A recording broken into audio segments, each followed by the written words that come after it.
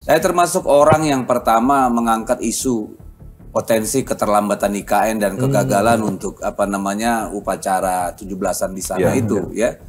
Ketika kepala otorita IKN dan wakilnya mundur.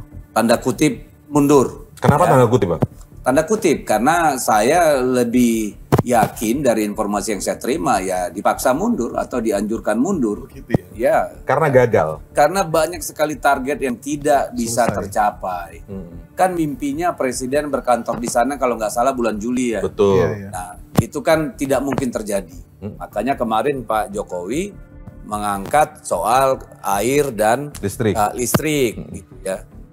Tapi uh, kita lihat sendiri jangankan berkantor di sana ya. hmm. ya untuk upacara saja yang tadinya direncanakan melibatkan 8.500 orang, akhirnya kan kalau tidak salah uh, setelah pergantian kepala otorita IKN Betul.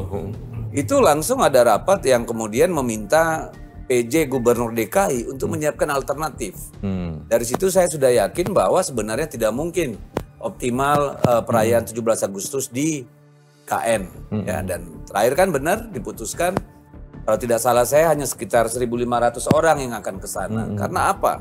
Infrastruktur dasarnya aja belum uh, selesai. Masih hmm. banyak yang di bawah target. Hmm. Ada yang 50, ada yang masih 60-an. Ya, ya. ya. Yang sudah 100% juga ada. Ya, ada ya. ya. Uh, Tapi kan 1.500 yang berangkat ke IKN pun tuh masih cenderung dipaksakan juga nggak? Itu pun akan sangat menyulitkan mobilisasi.